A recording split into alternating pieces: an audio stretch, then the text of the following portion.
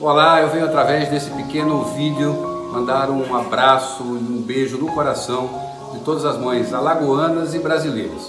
E faço isso né, através de quatro mulheres né, que representaram esse papel é, na minha vida, na vida de meus filhos e meus irmãos, né, que é a minha mãe, Laurinha, a minha esposa Fernanda, a minha avó Ié e a minha sogra, Celina. Em nome delas, eu saúdo a todas as mães né, do nosso estado, do nosso país.